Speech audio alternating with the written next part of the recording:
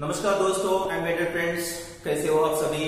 This is Tirupati sir Tirupati sir biology don't forget to subscribe my channel that is Tirupati sir biology students एक चीज़ मैं आपको बताना चाहूँगा, जैसे आप आज की जो सिचुएशन चल रही है Covid 19 and this is the first week of September अब ये हाईएस्ट पीक पे चल रहे हैं, और number of patients those are increasing day by day और कल के पेपर में अगर आपने देखा होगा तो आपको पता होगा कि अराउंड एटी थाउज़ेंड पीपल्स जो है वो डिटेक्ट हुए हैं कोविड से।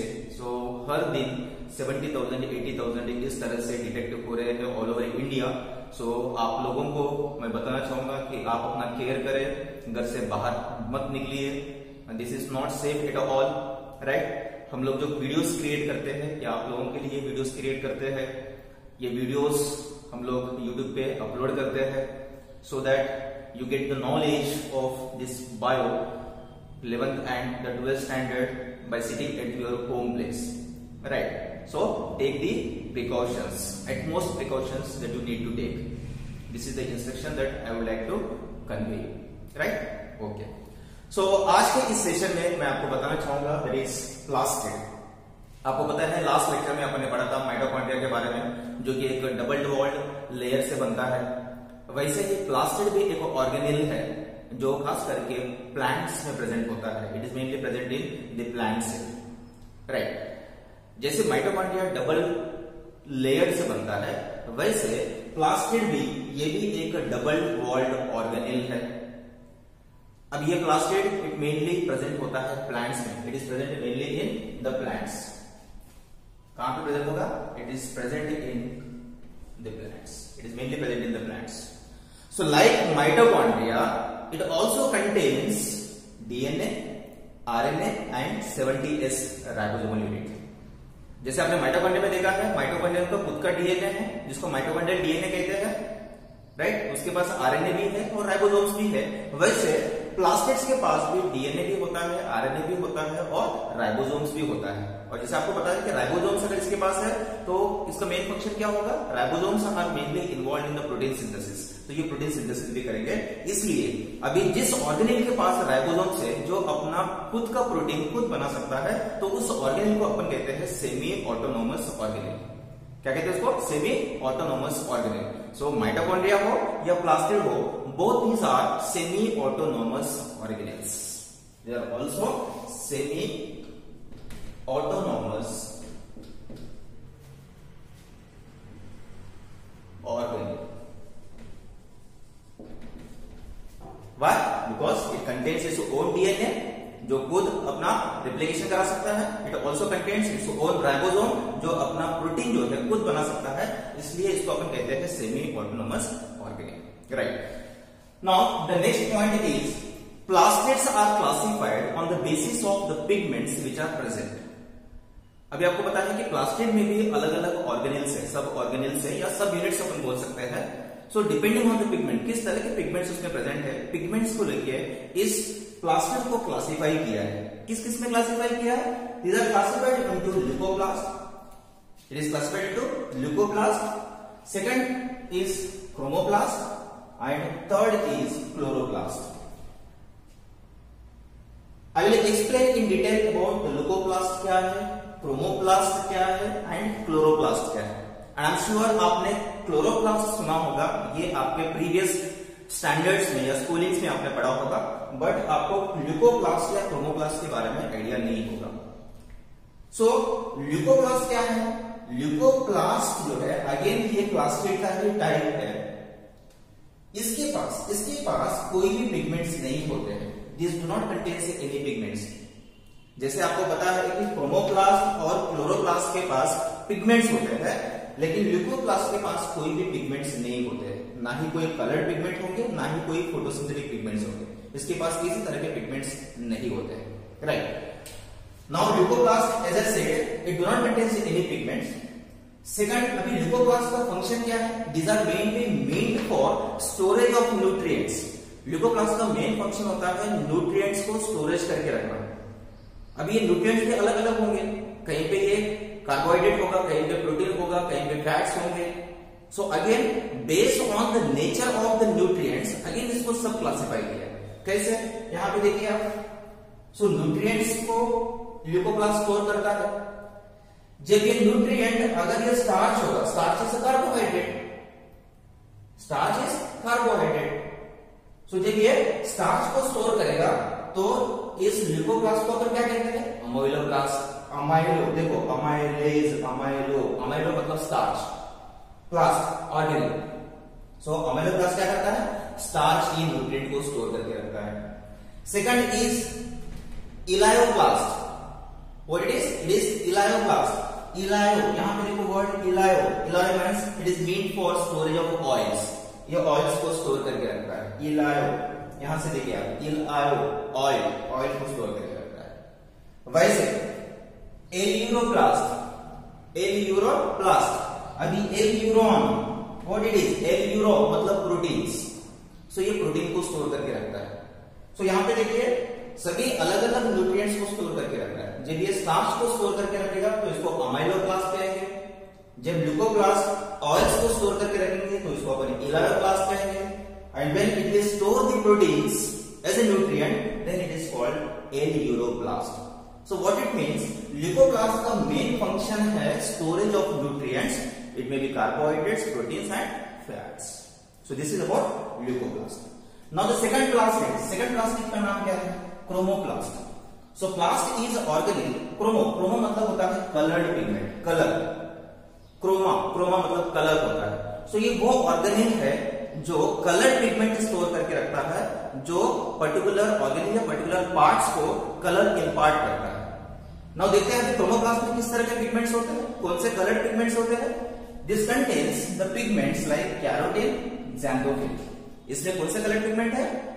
कैरोटीन एंड जैंथोफिल ये कलर पिगमेंट्स है. राइट अब ये कलर पिगमेंट्स है. So what is the function of this colour pigment it will impart the colour to the different parts अब ये कलर देते हैं अलग अलग पार्ट्स को. फॉर एग्जांपल जैसे यहाँ पे कैरोटीन जैंथोफिल जो है, इनसे रेड कलर येलो कलर या ऑरेंज कलर मिलता है. फ्लावर्स और फ्रूट्स को। सो आपको पता है कि नेचर में जितने भी फ्लावर्स फ्रूट्स होते हैं, सब अलग अलग कलर के होते हैं। तो उसमें से जो ऑरेंज रेड या येलो कलर है it is mainly because of this colour pigment जिसका नाम है carotene and xanthophyll so this carotene and xanthophyll is present in which plastid it is present in the chromoplast ये chromoplast में present होता है। Right right. अभी इस chromoplast में कलर्ड पिगमेंट्स प्रेजेंट है इसमें पिगमेंट्स प्रेजेंट है। जबकि आपने ल्यूकोप्लास्ट में देखा है यहाँ पे कोई पिगमेंट प्रेजेंट नहीं है। इसका काम क्या था? न्यूट्रिएंट को स्टोर करना these are organelle for the storage of nutrients. Chromoplast, these are the organelle which will provide the color, color to the different जैसे कि फ्लावर्स हो गए या फ्रूट्स हो गए इनको कलर देना।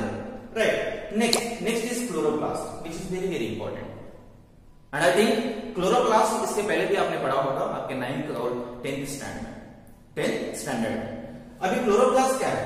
Chloroplast it is mainly present in the plant cell plant cell में भी होगा, जो अलगी का सेल होता है अलगी अलगी सेल में भी प्रेजेंट होता है।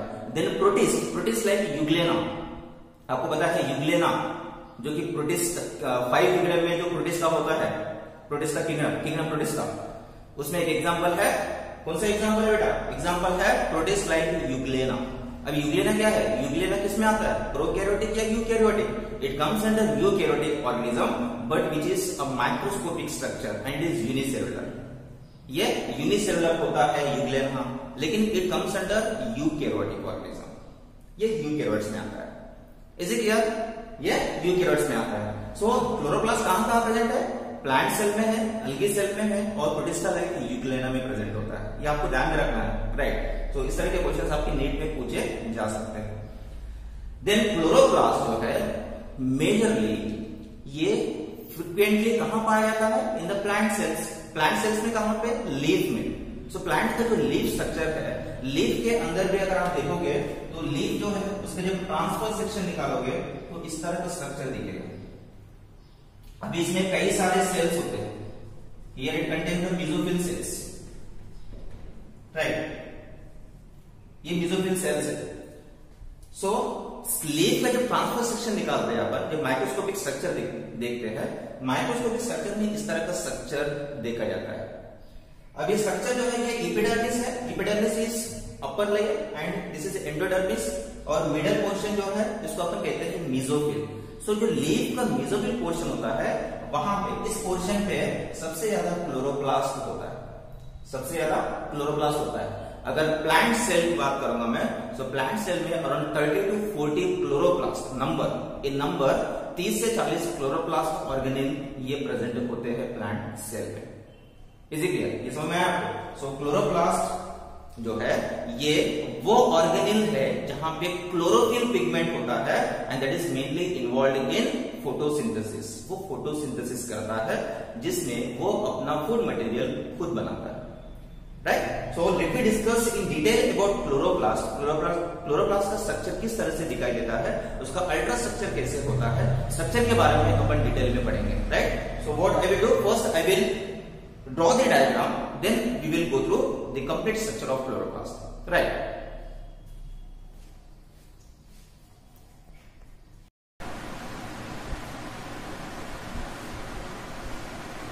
So here is the structure of chloroplast this is the ultra structure of chloroplast ये डायग्राम है जिसके बारे में अपन डिटेल में पढ़ेंगे.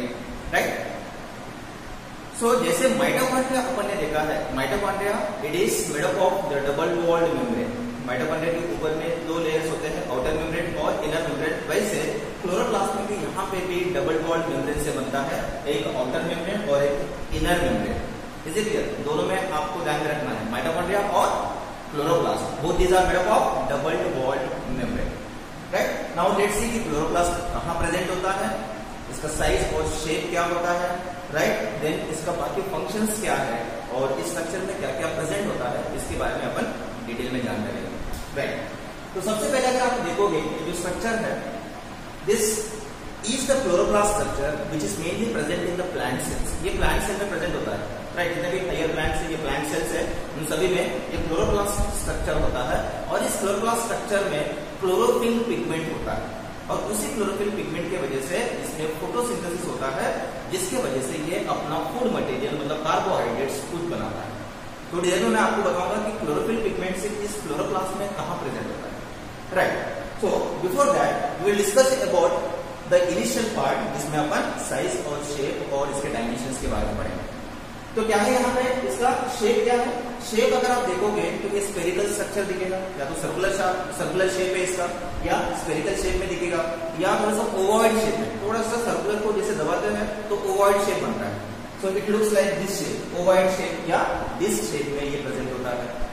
अगर साइज़ की मैं बात करूँगा तो size the diameter of this structure the diameter अगर मैं बताऊँगा तो ये फोर टू सिक्स माइक्रोन इसका डायमीटर होता है। कितना? Four to six micron diameter होता है। और थिकनेस की मैं बात करूँगा so thickness is one to two micron इसका थिकनेस होता है। So this is size of the chloroplast right shape क्या बताया मैंने? स्पेरिकल या ओवर्ड शेप या डिस शेप में होता है। और जो इसका डायमेंशन है मतलब साइज़ जो है, ये four to six micron diameter होता है और वन टू टू माइक्रोन इसका थिकनेस होता है। राइट नेक्स्ट पॉइंट क्या कहता है? अगर आप देखोगे, इस स्ट्रक्चर में तो यहाँ पे आपको डबल वॉल्ड मेम्ब्रेन दिख रहा है। एक बाहर का मेम्ब्रेन और एक inner membrane so this is called outer membrane this is called inner membrane outer membrane and inner membrane दोनों को कलेक्टिवली कहा जाता है पेरिस्ट्रोमियम क्या कहते हैं इसको P E R I peristromium peristromium S T R O M I U M stromium peristromium कहा जाता है। सो so, दोनों मेम्ब्रेन को कलेक्टिवली क्या कहते हैं?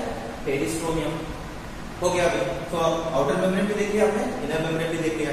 और एक चीज़ आपको ध्यान रखना है आउटर मेम्ब्रेन को या इनर मेम्ब्रेन इसका जो थिकनेस होता है वो अराउंड 92 92 हंड्रेड एम स्ट्रॉन्ग इसका थिकनेस होता है, हर मेम्ब्रेन का, ये आपको ऑरेंज में आना है राइट अभी आउटर मेम्ब्रेन और इनर मेम्ब्रेन के बीच में यहाँ पे कुछ फ्लूड है, जो कि कलरलेस कोलाइडल मैट्रिक्स है। इस कलरलेस फ्लूड को, या कोलाइडल मैट्रिक्स को अपन कहते हैं stroma what we call stroma so here is stroma तो stroma is nothing but colourless fluid और colloidal matrix matrix which is present inside the inner membrane. Inner membrane के अंदर में जितना भी फ्लूड है, that is colorless colloidal matrix है, जिसको अपन स्ट्रोमा कहते हैं। अभी इस फ्लूड में क्या क्या प्रेजेंट है? इस फ्लूड में प्रेजेंट होता है एंजाइम्स है इसमें प्रोटीन्स और लिपिड्स होते हैं। This statement is very important यहाँ पे स्टेटमेंट आप ध्यान रखिए। क्या ये? सर्कुलर डीएनए प्रेजेंट है आरएनए प्रेजेंट है राइबोसोम्स प्रेजेंट जैसे माइटोकॉन्ड्रिया में भी आपने देखा है माइटोकॉन्ड्रिया भी डबल वॉल मेम्ब्रेन था, उसमें भी सर्कुलर डीएनए था सेवेंटी एस राइबोसोम था और अपना आरएनए था। वैसे ही क्लोरोप्लास्ट में भी इसका खुद का डीएनए है, यहाँ पे आप देखोगे सर्कुलर शेप में, जो कि नेकेड रिंग है सर्कुलर है double helical structure of DNA which is present in circular form which is DNA तो क्लोरोप्लास्ट में भी डीएनए होता है, जैसे माइटोकॉन्ड्रिया में होता है। और साथ साथ में यहाँ पे कुछ राइबोसोम्स के पार्टिकल्स है। राइबोसोम्स के पार्टिकल्स भी होते हैं और इसमें आरएनए भी होता है। इसे क्लियर अभी इसके अलावा इसमें कुछ मेटल्स भी होते हैं। Metals like manganese magnesium and ferrous इसमें कुछ मेटल आयंस भी होते हैं जो फोटोसिंथेटिक रिएक्शन में इनका मेन इंपॉर्टेंट रोल होता है। इसलिए फोटोसिंथेटिक रिएक्शन को प्रमोट करने के लिए इनकी मदद वहाँ पे होती है। समझ में आया इसके बाद अगर आप देखोगे नेक्स्ट इज़ ग्रैनम या ग्रैनम ग्रैनम मतलब सिंगुलर ग्रैनम मतलब प्लूरल अभी ग्रैनम मतलब इस पर्टिकुलर स्ट्रक्चर को अपन कहेंगे ग्रैनम अब ये दोनों को या पूरा कलेक्टिवली इसको अपन क्या कहते हैं? कलेक्टिवली इसको अपन कहते हैं ग्रैनम सो बहुत सारे ग्रैनम मिलके ग्रैनम बनता है। इस सिंगल स्ट्रक्चर को अपन कहते हैं ग्रैनम समझ में आया? अभी यहाँ पे देखोगे, हर ग्रैनम जो है it consist of the discoid shape thylakoid एक डिस्क शेप स्ट्रक्चर से बनता है। यहाँ पे देखिए आप, एक डिस्क लाइक स्ट्रक्चर है यहाँ पे। सो ग्रैनम जो है ग्रैनम जो है, ये एक डिस्क लाइक स्ट्रक्चर से बनता है डिस्क लाइक स्ट्रक्चर से बनता है। इस डिस्क लाइक स्ट्रक्चर को अपन कहते हैं thylakoid what is called thylakoid अभी इस thylakoid membrane this is thylakoid membrane complete structure को अपन थाइलोकॉइड कहा था। This is membrane thylakoid membrane इस मेम्ब्रेन में कुछ पार्टिकल्स होते हैं, जिनको अपन कहते हैं क्वांटासोम्स इसके अंदर में क्या होता है? इसके अंदर में क्वांटासोम्स होते हैं। क्वांटासोम्स अभी इस क्वांटासोम्स के अंदर में अभी इस क्वांटासोम्स के अंदर में क्लोरोफिल पिगमेंट होता है जहाँ पे फोटोसिंथेटिक रिएक्शन होता है। सो so, इसका मतलब क्लोरोप्लास्ट में क्लोरोफिल पिगमेंट कहाँ पे होता है? ये जो ग्रैनम है ग्रैनम बनता है थाइलोकॉइड से। ऐसे देखा तो स्टैक होता है टप्पी होता है थाइलोकॉइड्स का। थाइलोकॉइड जो थाइलोकॉइड मेम्ब्रेन है उसमें क्वांटासोम्स होते हैं। उस क्वांटासोम्स के अंदर में क्लोरोफिल पिगमेंट होता है जहाँ पे फोटोसिंथेटिक रिएक्शन होता है। तो इस ग्रैनर के अंदर किस तरह का रिएक्शन होता है? ये लाइट डिपेंडेंट रिएक्शन होते हैं जो लाइट के प्रेजेंस में जो रिएक्शन होते हैं सनलाइट के प्रेजेंस में जो रिएक्शन होते हैं वो यहाँ पे होते हैं। इस ग्रैनर के अंदर इसलिए जहाँ पे एटीपी बनता है। सो so, दो तरह के रिएक्शन इस क्लोरोप्लास्ट में होते हैं। एक होता है लाइट डिपेंडेंट और एक होता है लाइट इंडिपेंडेंट सो जो लाइट डिपेंडेंट रिएक्शंस है, वो यहाँ पे होते हैं ग्रैनम राइट और जो लाइट इंडिपेंडेंट रिएक्शन है मतलब जो लाइट के अब्सेंस जिसको लाइट की ज़रूरत नहीं होती है, उनको अपन डार्क रिएक्शन भी कहते हैं। सो जितने भी डार्क रिएक्शन है, वो इस स्ट्रोमा में होते हैं। मतलब ये जो कलरलेस कोलाइडल मैट्रिक्स मैंने आपको बताया है स्ट्रोमा उसमें डार्क रिएक्शन होते हैं। अब ये दो क्या रिएक्शन है? एक मैंने आपको बताया है लाइट रिएक्शन और एक मैंने बताया है डार्क रिएक्शन लाइट रिएक्शन कहाँ होता है? यहाँ पे थायरोकॉइड मेम्ब्रेन क्वांटोसोम्स के अंदर में जो क्लोरोफिल पिगमेंट है, वहाँ पे. इस लाइट डिपेंडेंट रिएक्शन में ध्यान में रखना है आपको एटीपी बनता है. क्या बनता है? एटीपी सो ग्राना रिलेटेड यहाँ पे ग्राना में फोटोसिंथेटिक रिएक्शन होते हैं, जिसमें एटीपी बनता है. तो ग्राना के अंदर लाइट डिपेंडेंट रिएक्शन जहाँ पे एटीपी बनता है. और stroma stroma is colourless colloidal matrix जहाँ पे एंजाइम्स है, यहाँ पे डार्क रिएक्शंस होते हैं। इस डार्क रिएक्शन में CO2 जो है रिड्यूस होता है और इससे ग्लूकोज बनता है। ग्लूकोज बनता है मतलब कार्बोहाइड्रेट्स तो इस फ्लूड में डार्क रिएक्शंस जहाँ पे कार्बोहाइड्रेट बनते हैं और ये मेम्ब्रेन जिसमें क्लोरोफिल होता है, वहाँ पे वहाँ पे एटीपी बनता है, जहाँ पे लाइट डिपेंडेंट रिएक्शंस होते हैं। ये दो चीज़ें राइट अभी इसके अलावा यहाँ पे देखोगे आप, ये भी ग्रैनम है, ये भी ग्रैनम है ग्रैनम है। पर ग्रैनम जो है, ये एक ट्यूब से, एक ट्यूब से कनेक्टेड है। इस ट्यूब को अपन क्या कहते हैं? या स्ट्रोमा लैमेली या मेम्ब्रेन.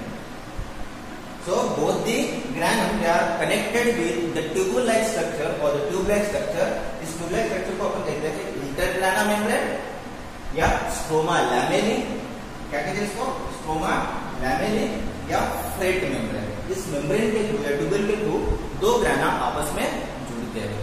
इसीलिए ये हो गया इंटरग्राना ये हो गया इंटरग्राना एक चीज़ और एक चीज़ आपको ध्यान में रखना है साइंटिस्ट यहाँ पे मैंने साइंटिस्ट का कुछ नाम लिखा A J W Schimper in 1833 he was the first scientist जिन्होंने ये टर्म क्लोरोप्लास्ट का जो टर्म है सबसे पहले किसने निकाला है? किसने पॉइंट किया है? एजे डब्ल्यू शिम्पोर 1833 सॉरी 1833 में इन्होंने सबसे पहले क्लोरोप्लास्ट के टर्म निकाला। इज़ इट क्लियर अभी बाकी सारी चीज़ें तो मैंने आपको बताया कि क्लोरोप्लास्ट क्या होता है तो ये चीज़ ध्यान रखना है। सेकंड मैंने यहाँ पे लिखा है कि सेमी ऑटोनोमस ऑर्गेनिज्म है।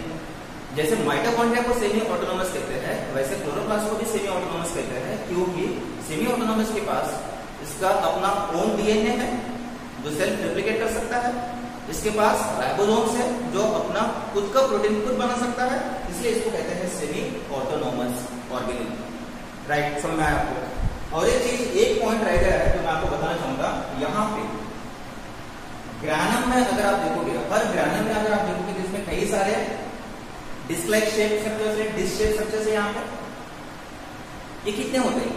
Now it ranges from granum granum granum this is औसत ग्रानम अब ये कितने ग्रानम्स हैं? Now the number it varies from the plant to plant हर प्लांट सेल में इसका नंबर चेंज होता है।